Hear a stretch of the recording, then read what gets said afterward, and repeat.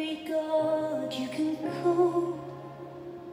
I stand outside this woman's work, this woman's world. Ooh, it's hard on the man. Now his part is over. Now